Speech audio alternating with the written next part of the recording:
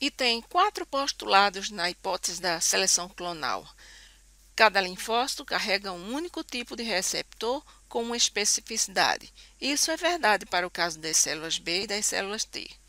E a interação entre uma molécula estranha com esse receptor leva à ativação daquela célula.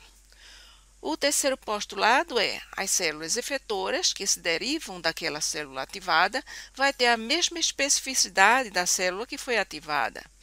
No caso da célula B, não tem uma célula efetora, mas tem uma molécula efetora, que é o anticorpo.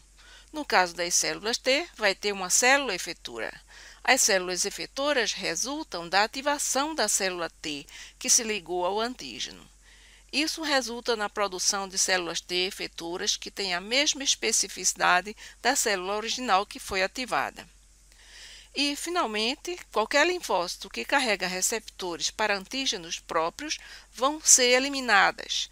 Nós eliminamos células T ou B que reagem a antígenos próprios.